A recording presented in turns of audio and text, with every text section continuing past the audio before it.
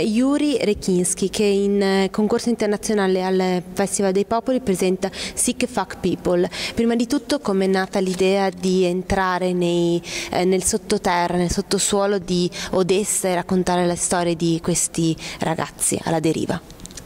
So, first of all, we would like to know how did you get the idea of penetrating the underground of Odessa and tell the story of these youths who are really adrift? Um, yeah, it was not an idea which forced me to go penetrating the underground, as you said, but it was a very concrete situation it was very personal one. It was a series of accidents in my family and in my life. And this underground, this basement, this hell in a way, it was my try to. It was a place where I started to hide from my problems. In realtà non è che ci sia stata un'idea che mi ha portato, che mi ha costretto in qualche modo a entrare nel sottosuolo di eh, Odessa, ma piuttosto una situazione concreta e molto personale, ovvero una serie di incidenti nella mia vita e in famiglia che hanno fatto sì che quel sottosuolo eh, di Odessa era sì, un, poteva essere un inferno, ma per me è stato il luogo dove nascondermi dalla, dalla mia propria vicenda personale. I, I think. But in the end it was it was helping and I suppose it was helping for both sides, for me and for the characters. These three years was not in vain.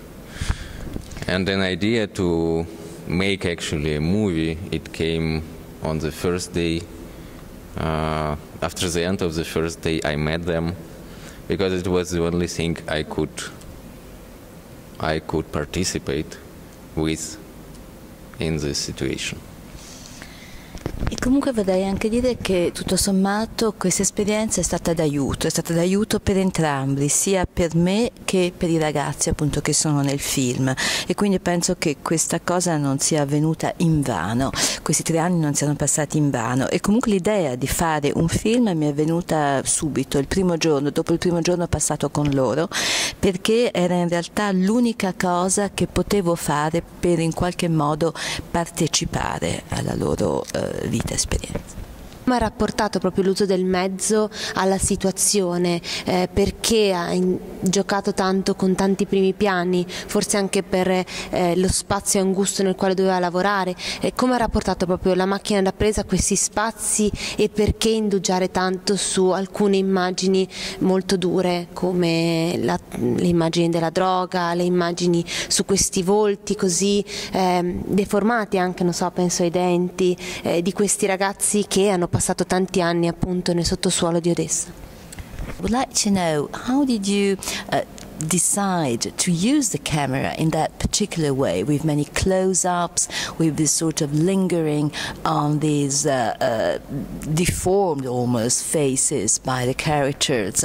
Your use of the camera in this very narrow kind of claustrophobic space. How did you decide to uh, adopt that style?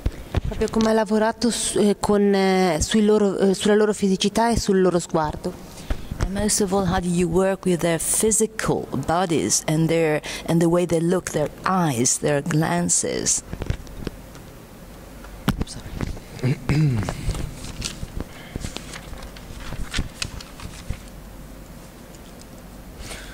Regarding the camera, we decided very fast and it was quite natural um, decision that we will stay as honest as possible to our perception of what we are observing.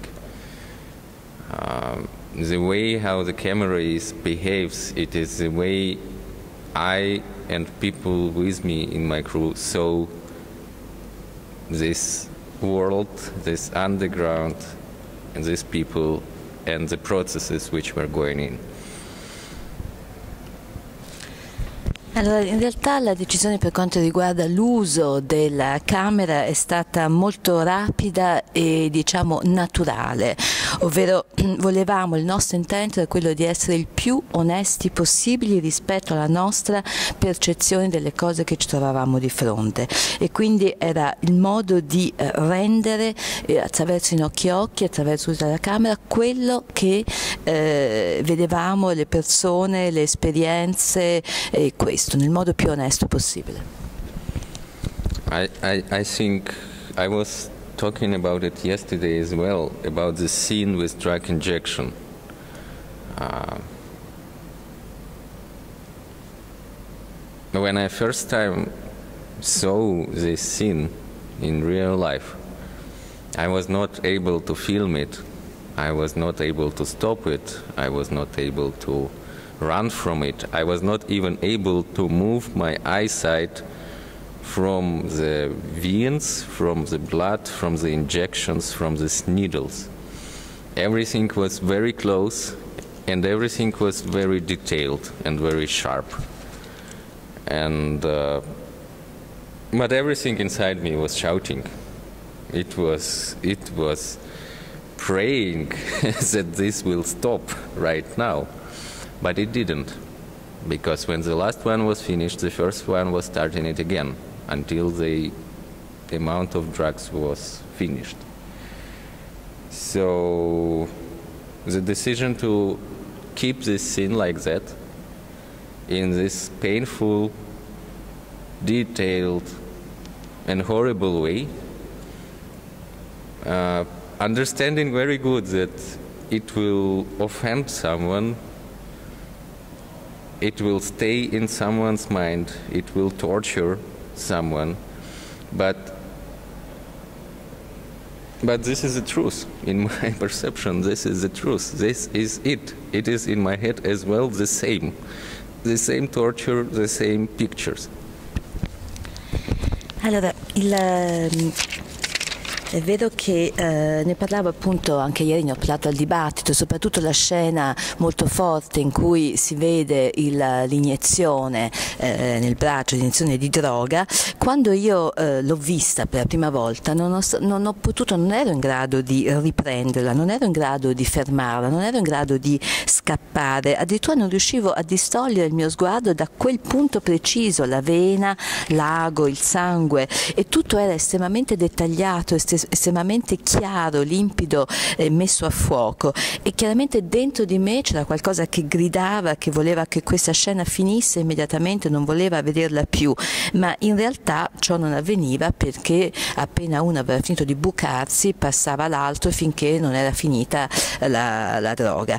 E quindi quindi abbiamo, ho deciso di tenerla questa scena così com'era in tutto il suo orrore. E sapevo benissimo che qualcuno l'avrebbe, l'avrebbe vista come una sorta di tortura visiva sarebbe stato disturbato come lo sono stato io. Ma quella era la verità. Questo è, è così. Questo è quanto era l'unica verità che potevo mostrare. Grazie mille anche per la traduzione a Donatella Baggio